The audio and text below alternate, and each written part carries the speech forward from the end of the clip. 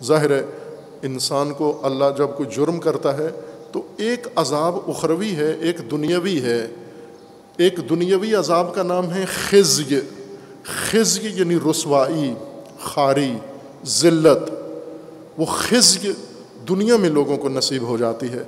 जब अल्लाह का निज़ाम छोड़ दें, तोहीद को छोड़ दें, इमामत को छोड़ दें कुरान को छोड़ दें अहलुलबैत को छोड़ दें, फासिक, फाजिर, शराबी, ज़ानी हुक्मरान अपने बना लें, जिनके बारे में अल्लाह का फरमाना है कि तुम्हें तो रोका गया था कि इनको आपने इनकार करना है ताबूतों का, तुमने तहाकुम कर लिया है इनका, तुमने हाकिम इनको चुन लिया है अपने लिए। यही अजाब होंगे तुम्हारे लिए।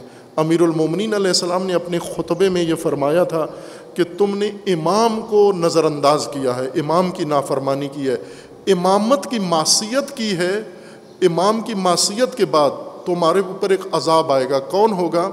जो इमाम की जगह तुम पर मुसलत होंगे, वही तुम्हारे लिए अजाब होंगे।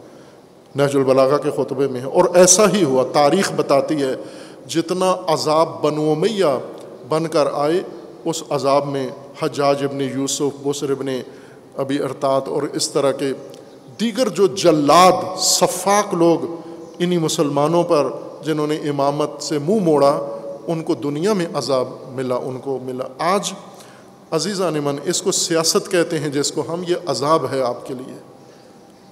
आज पाकिस्तानी कोई भी मज़हब व मसलक से ताल्लुक़ रखता हो, शिया हो, सुन्नी हो, मुस्लिम हो, गैर मुस्लिम हो, एक अजाब की ज़िंदगी बसर कर रहा है, जिसके हर पहलू से अजाब है इसके लिए। और ये अजाब अपने हाथों से गढ़ा है और ख़रीदा है, चूँकि तकवा को तर्क कर दिया है।